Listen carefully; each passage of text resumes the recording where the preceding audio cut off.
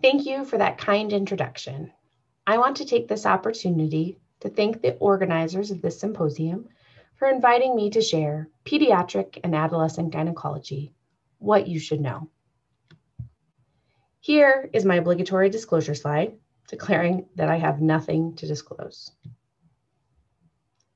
Many of you are probably asking yourself, what exactly is pediatric gynecology and why is it important? You're not alone, as many practicing physicians and advanced practice providers have never even heard of pediatric gynecology. Pediatric and adolescent gynecology, or PAG, is a rapidly growing, growing field. It was first established by Rudolf Peter in Prague in September 1940. However, the first faculty positions were not established until 1962. The North American Society for Pediatric and Adolescent Gynecology, or NASPAG, was founded in 1986. More recently, the number of fellowship programs here in the US have continued to grow, with 12 programs currently and a 13th about to be added.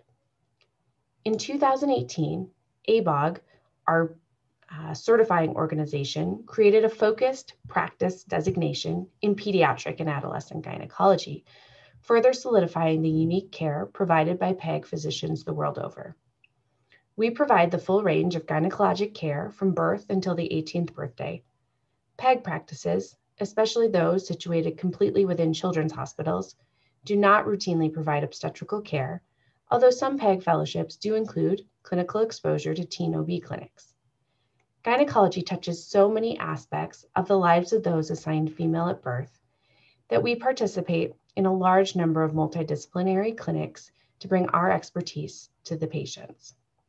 Here at Primary Children's Hospital, I participate in the CHARM or colorectal, Hirschsprung, and anorectal malformation clinic, the DSD or disorders of sexual differentiation clinic, the joint hematology oncology clinic, as well as clinics with our oncologists, including cancer survivorship and hereditary cancer syndrome clinics. We also plan to join Spina Bifida Clinic, IBD Clinic, and Turner Syndrome Clinic as our program grows. Pediatric gynecologists perform a wide variety of surgeries. Procedures include reconstructive surgeries for Müllerian anomalies, laparoscopy for pelvic pain, ovarian masses, and adnexal masses, removal of vaginal foreign bodies, examinations under anesthesia for prepubertal complaints, and complex surgeries in multidisciplinary teams for anomalies such as cloacas and DSDs. Pediatric gynecologists also provide gender affirming care to our transgender and non binary populations. Today, I'll briefly touch on a common complaint seen by PAG providers, as well as some topics that are more up and coming in the field. Throughout this talk, I will use the terms female, girls, and women for simplicity, but please know that the subjects I'm discussing also apply to non binary and trans patients who are assigned to female at birth and have typically re female reproductive structures. Vulvar care has been in social media headlines quite frequently lately. In March, Vagisil launched their OMV line that you see here that is marketed towards teenagers. Several gynecologists on social media, including some pediatric gynecologists, went after the company for marketing an unnecessary product towards teen girls, an already vulnerable population.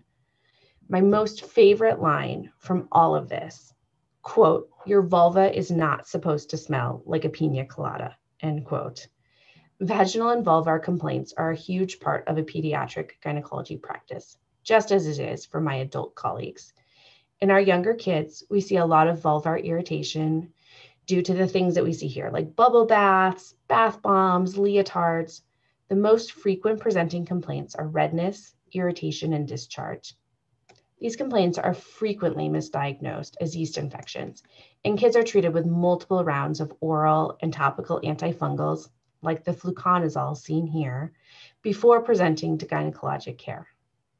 A good rule of thumb is that you're if you're out of diapers and haven't hit puberty yet, it's not yeast. The pH of the vagina is not favorable for yeast at that age. A patient with a culture proven yeast infection in this age range should prompt further evaluation for diabetes and or other immunocompromise. Teens also often present with complaints of vulvar irritation or vaginal discharge. Just like in younger kids, these complaints are often hygiene related. Society makes girls feel like vaginal discharge is not normal, despite it being very normal. And so teens are often trying to eliminate oral discharge. Commonly, teens will wear panty liners every single day to try to absorb all the vaginal discharge.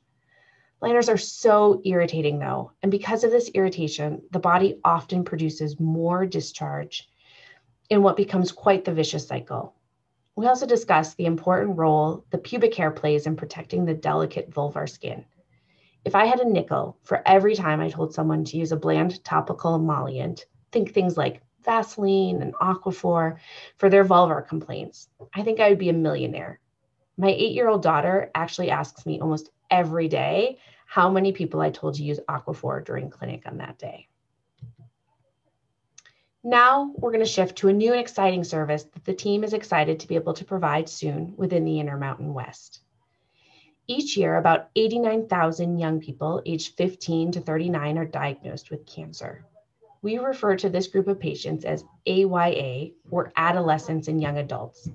In addition, about 10,500 children under age 15 will be diagnosed with cancer each year. As our therapies improve, many more of these patients are surviving past five years and becoming adults. As patients live longer, the early and late consequences of cancer management are beginning to assume greater importance for survivors, their families, and their providers. When considering the long term sequelae of cancer therapy, infertility surfaces as a primary concern, particularly among female survivors. Additionally, fertility concerns are not limited only to cancer patients, but also patients with medical conditions such as rheumatoid arthritis and lupus, as well as those patients with disorders of sexual differentiation and gender dysphoria. Traditionally, female cancer patients who wanted to have their own biologic children in the future had limited options, such as protecting the ovaries from radiation and emergency oocyte cryopreservation. While shielding is routine, not all patients may be eligible for oocyte cryopreservation. Ovarian tissue cryopreservation opens up another avenue for fertility preservation for these patients. Most importantly, it allows prepubertal patients undergoing gonadotoxic therapies to have an option for fertility preservation where none previously existed.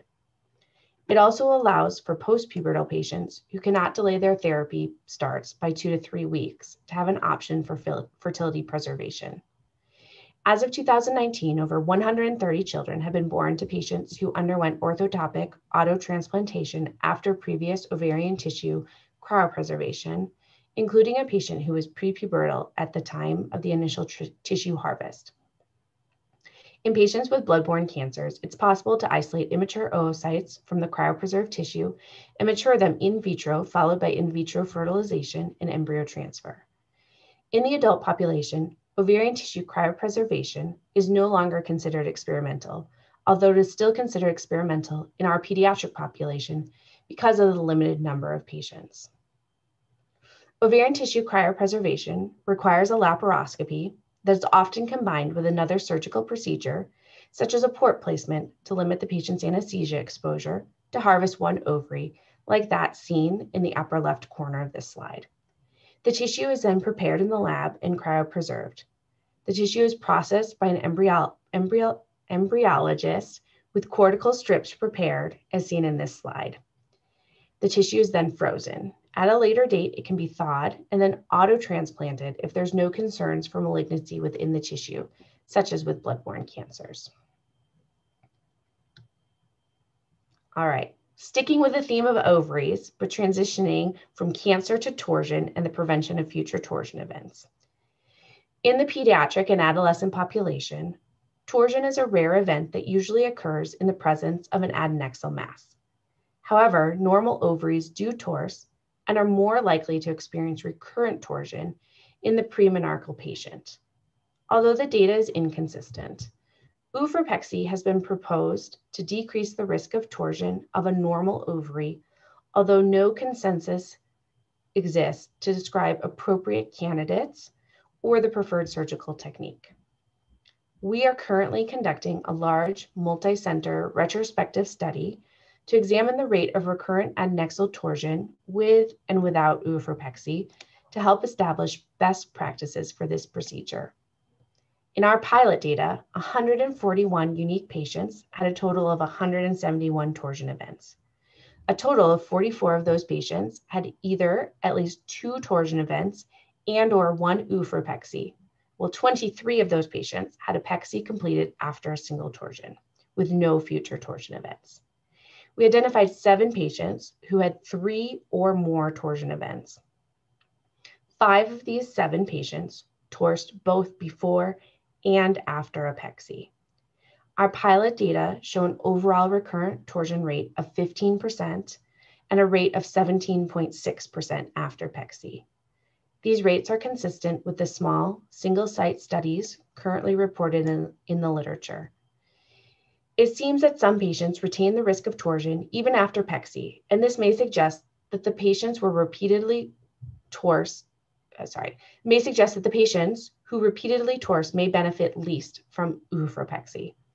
There's a risk that in a patient who has previously had a pexy performed, that they will have an increased time to surgical care as ovarian torsion may be lower on the differential when presenting to the ER. It is important to maintain a high clinical suspicion for torsion, even in patients who have previously had a pexy completed, especially those are, who are premenarchal at the time of their presentation. Finally, we're going to transition to a group of complex pelvic anomalies that should be of interest to adult women's health providers.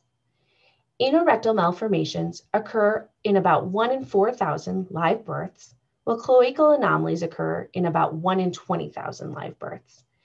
Many patients born with these anomalies will have normal reproductive tract anatomy. However, they are at an increased risk of reproductive tract anomalies. In less complex anorectal malformations or ARMs, such as rectovestibular fistula and imperforate anus, a vaginal septum will be the most commonly seen gynecologic anomaly. In patients born with a cloaca, greater than 50% of them will have a Müllerian anomaly, with uterine didelphys being the most common finding. Around 10% of patients with anorectal malformations will have Müllerian agenesis, also known as Mayer-Rokitansky, Kuster-Hauser, or MRKH syndrome. These facts are significant for those providing adult gynecologic care, as the surgeries that are completed throughout infancy and childhood will have impacts on the care provided to these patients as adults. Most importantly, many of these women may elect to attempt pregnancy. The data is very limited, with only one paper published in 2019 really examining obstetrical outcomes. Currently, we counsel patients who have undergone a cloacal repair or a posterior sagittal anorectoplasty for imperforate anus to deliver via cesarean. Unfortunately, the counseling likely needs to be much more nuanced than this. If a patient is incontinent or only continent with a catheterizable stoma, a vaginal delivery may be a preferred route of delivery to protect the stoma that allows them to maintain social continence. Another important consideration in this population is the need for cervical cancer screening.